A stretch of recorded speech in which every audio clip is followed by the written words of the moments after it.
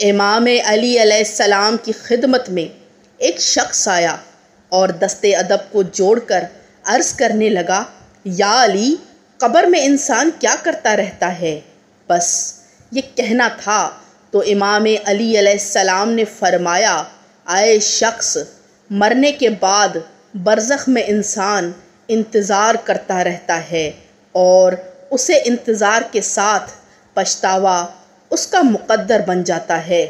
उस शख्स ने पूछा, या अली, वो कौन सी चीज़ें हैं जिसमें इंसान पछताता है? इमाम अली सलाम ने फरमाया, नौ चीज़ों पे इंसान बार बार कब्र में पछताता रहता है। पहली आरज़ू कि काश मैं ज़िंदगी में तकबर ना करता, अपने आप को मट्टी का समझता। दूसरा, काश मैं अपनी आखिरी ज़िंदगी के लिए कुछ कर लेता। तीसरा अय काश अय काश मेरा आमाल नामा मुझे पढ़ के ना सुनाया जाता।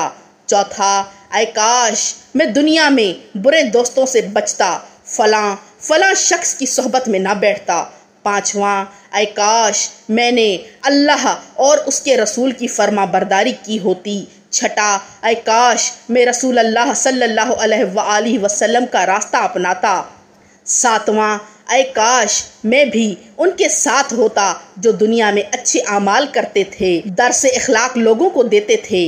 आठवां अय काश मैंने अपने रब के साथ किसी को शरीक ना किया होता।